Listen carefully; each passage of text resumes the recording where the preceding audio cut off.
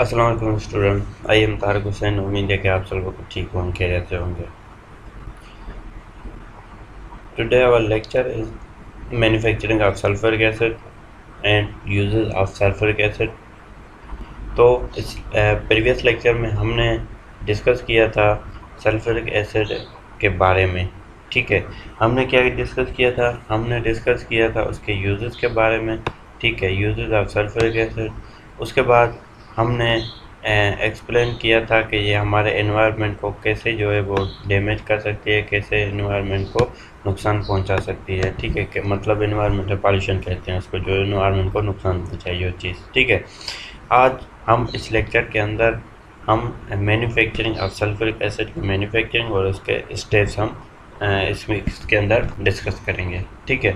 तो सबसे पहले मैं कल प्रीवियस लेक्चर के अंदर मैंने बताया था कि जो एयर पॉल्यूशन है, ठीक है, वो उसके बाद वाटर पॉल्यूशन, उसके बाद सॉइल पॉल्यूशन, ये हमारे इन्वायरमेंट पे, हमारे सॉइल को, हमारी एग्रीकल्चर को, हमारे वाटर्स को, हमारे रिवर्स को कैसे नुकसान पहुंचाती है इन्वायरमेंट और मैंने बताया था कि ये तीन मेजर हमारे पॉल्यूशन के टाइप होते हैं, ठीक है? एक तो हवा को गंदा करना, उसके बाद पानी को गंदा करना, उसके बाद सॉइल को गंदा करना, ठीक है? उसके बाद मैंने इसके यूज़ के बारे में बताया था डिटेल में कि डिटर्जेंट में इसका इस्तेमाल किया जाता है फर्टिलाइज़र उससे इसका इस्तेमाल है, उसके बाद आर्टिफिशियल फाइबर के अंदर है पेंट के पेंट बनाने के लिए इसमें इस्तेमाल किया है प्लास्टिक्स मतलब जिसको हम पीवीसी कहते हैं, ठीक है? आप लोगों को पता होना चाहिए कि जो पीवीसी है पीवीसी का फुल फॉर्म पता होना चाहिए। पीवीसी का फुल फॉर्म फुल फॉर्म है कि पोली विनाइल क्लोराइड ठीक है? पोली विनाइल क्लोराइड मतलब poly vinyl chloride vinyl chloride की चेन होती है जिसको हम पोली कहते हैं, ठीक है? कोई भी एक केमिकल कंपाउंड है, वो आपस में ज्वाइन होकर एक लंबी चेन बना रहे हैं। तो उसको हम पोली कहते हैं, ठीक है? पोली मतलब बड़ी चेन होती है। जिसको पोलीमराइजेशन प्रोसेस के थ्रू पढ़ते हैं, ये जब आप प्लास्टिक मैन्युफैक्चरिंग पढ़ेंगे ना तो प्लास्टिक इंडस्ट्री के अंदर पीवीसी इंडस्ट्री के अंदर आप ये चीज़ डिस्कस में इंशाल्लाह हम वहाँ पे अच्छे तरीके से वहाँ पे डिस्कस करेंगे। ठीक है, उसके बाद इलेक्ट्रोलाइट एंड बैटरीज के अंदर कार नहीं, यहाँ पे कार नहीं होना चाहिए। बैटरीज़ के अंदर जितनी बैटरीज हैं, क्योंकि बैटरी सिर्फ़ कार में इस्तेमाल नहीं होती बैटरी हर गाड़ी के अंदर इस्तेमाल होगी छोटी हो, बड़ी हो बाइक हो, कुछ भी हो, ठीक है। उसके बाद हमारे घरों में इसका बहुत ज़्यादा आजकल सोलर सिस्टम पर इस्तेमाल हो रहा है, ठीक है।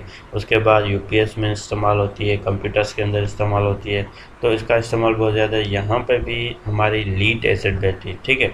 आप लोगों को पता होना चाहिए कि बैटरी जो होती हैं, दो होती हैं, ठीक है। एक होती हैं एसिड वाली बैटरी ठीक है। एक होती है एसिड वाली बैटरी ठीक है? और दूसरी जो होती है हमारी ड्राई बैटरी होती है, ठीक है? ड्राई बैटरी के अंदर हमारा ड्राई बैटरी हमारा एग्जांपल आप ले लें तो वो हमारा सेल होता है, ठीक है? सेल जैसे आपने देखा होगा कि जब हमारे रिमोट के अंदर सेल होते हैं, ठीक है? टेलीविज़न हो गए, कुछ भी हो गए तो उनके अंदर जो हमारे सेल लगे होते हैं तो उसके अंदर कोई पानी वगैरह, कोई एसिड वगैरह नहीं डलता तो उसको हम कहते हैं ड्राई बैटरीज वो हमारी ड्राई बैटरीज हैं, ठीक है? उसके बाद जो हमारी एसिड बैटरीज होती हैं। एसिड बैटरीज के अंदर एक इलेक्ट्रोलाइट मतलब सॉल्यूशन लिक्विड यूज़ होता है। वो हमारा सल्फ्यूरिक एसिड का इस्तेमाल करते हैं।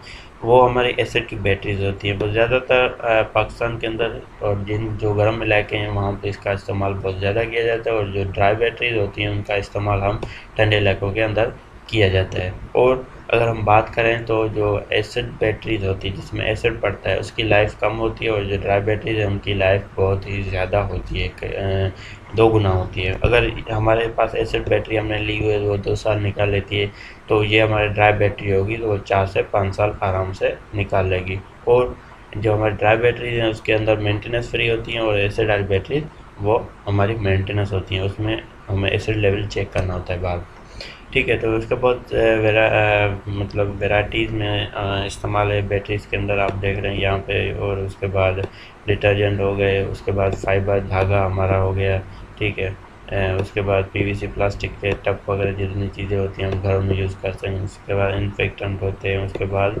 क्लीनिंग एजेंट भी होते हैं।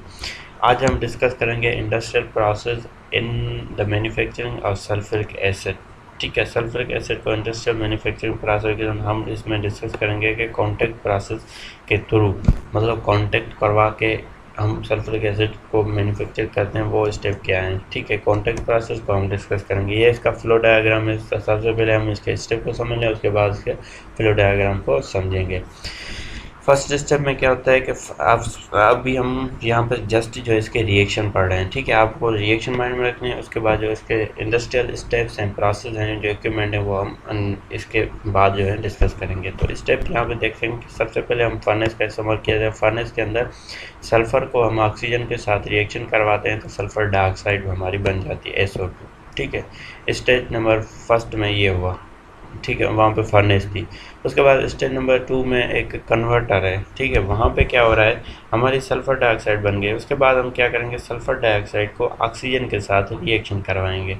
जब हमने सल्फ़र डाइऑक्साइड को ऑक्सीजन के साथ रिएक्शन करवाया तो हमारा सल्फ़र ट्राइऑक्साइड बन गया एस ओ थ्री ठीक है सल्फ़र ट्राइऑक्साइड यहाँ पर बन जाएगा स्टेप सेकंड में। उसके बाद अगर हम थर्ड स्टेप की बात करें तो फाइनल स्टेप है थर्ड स्टेप तो थर्ड स्टेप के अंदर हम सल्फ़र ट्राइऑक्साइड को या दो दो तरीक़ों से इसको इस्तेमाल कर सकते हैं। या तो सल्फ़र ट्राइऑक्साइड को हम H two S O four sulphuric acid से रिएक्शन करवाएँ। मैं, हमने इससे पहले सल्फरिक एसिड की मैन्युफैक्चरिंग पढ़ी थी और मैंने आप लोगों को वहाँ पे बताया था कि सल्फ़र सल्फरिक एसिड मैन्युफैक्चरिंग कैसे करते हैं, उनके यूजेस बताए थे। मैंने उसका यूजेस ये भी बताया कि हम जब सल्फरिक एसिड बना रहे होते हैं तो वहाँ पे H two S O four इनका चीज़ों का इस्तेमाल किया जाता है।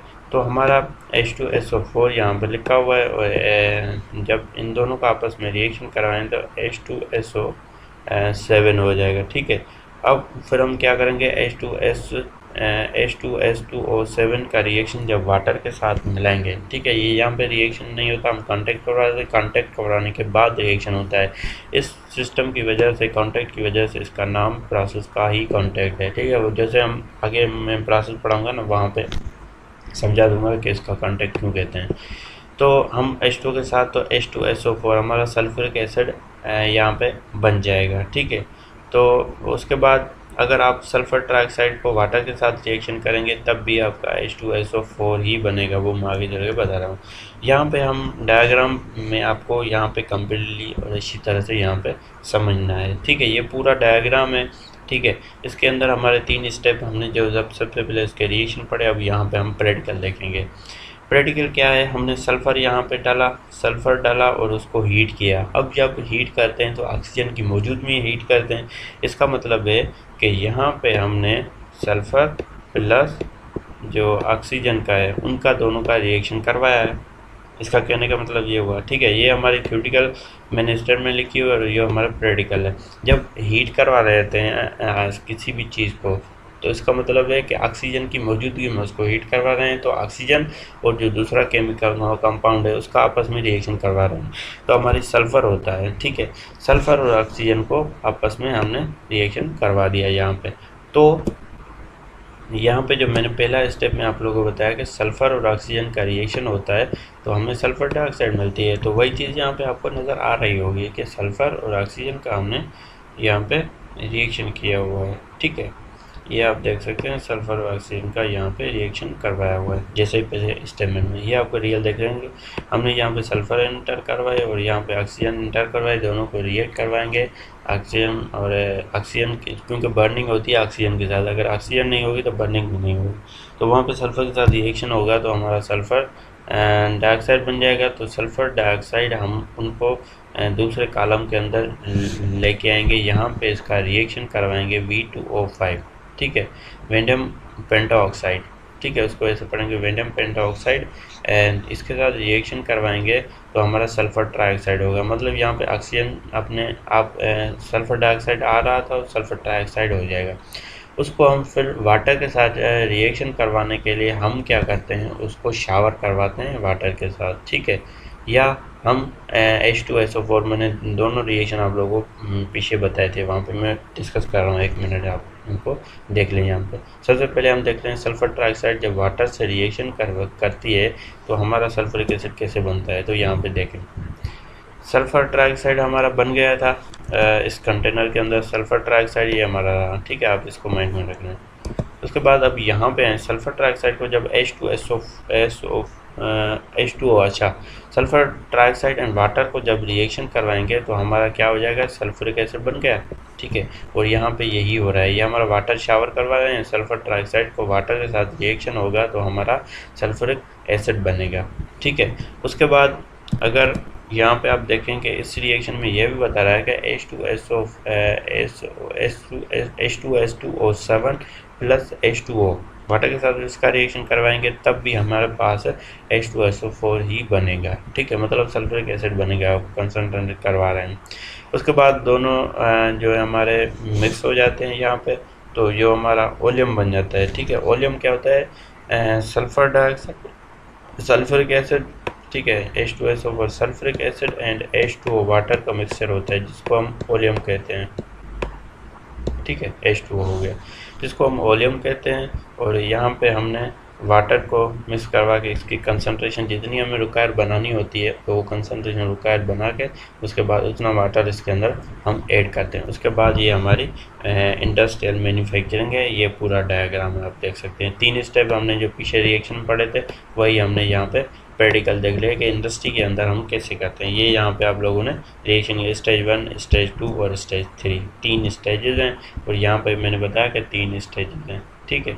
सबसे पहले जो हमारी स्टेज थी, वो ये थी कि आप लोग पहली स्टेज सेकंड स्टेज और थर्ड स्टेज में हमने यहाँ पे फाइनल कर दिया था। और जो फोर्थ स्टेज है फोर्थ स्टेज में तो इतना खास कुछ भी नहीं है। उसमें तो हम कंसनट्रेशन सेट कर रहे हैं, जितनी हमें रुकार हो गया ज़्यादा कंसनट्रेशन चाहिए तो कम वाटर ऐड करेंगे। अगर कम जो हमें कंसनट्रेशन चाहिए होती है तो उसके अंदर ज़्यादा वाटर हम ऐड करेंगे, ठीक है? तो आज के लिए इतना ही काफ़ी है हमारे लिए। तो आपको ये चीज़, इंशाल्लाह, उम्मीद है कि समझ में आ गई होगी। थैंक यू शुक्रिया।